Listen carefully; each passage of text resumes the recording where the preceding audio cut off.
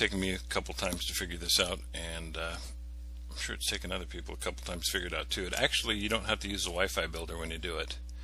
So um, first off, uh, we're going to assume you've got a card that you've loaded into your hotspot that's already loaded with the latest version of Pi-Star, which includes AutoAP.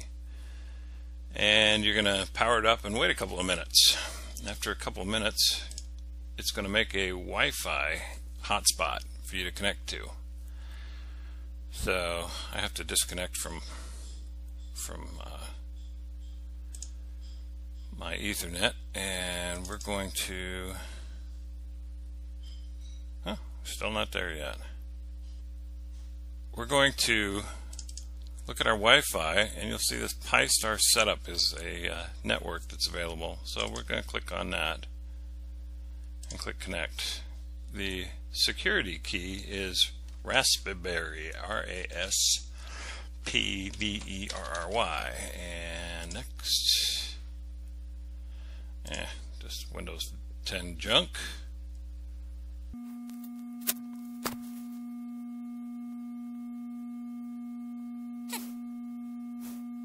this up a little bit.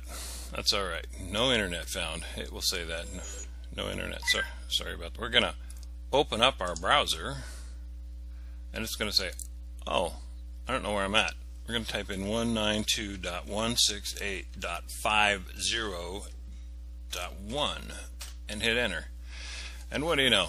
There's our hotspot. And we go through the configuration and do everything else like we're supposed to. Um, probably one of the first things you want to do, well, I think this is admin and raspberry sign in. No? Hmm.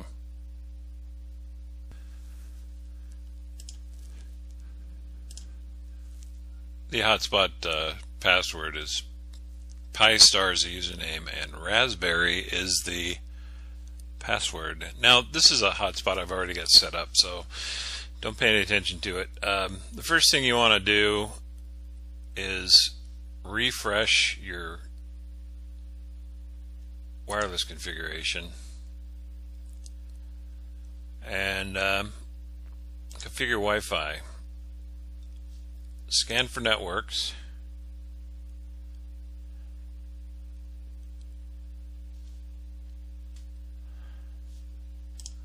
And it'll find a network, your network. You're going to select that and you're going to put in your password here. Um, I don't want to do this because I've already got this set up. That's the first thing you're going to do on the AutoAP. Uh, go into uh, put your password and or username and password in Pi-Star Raspberry.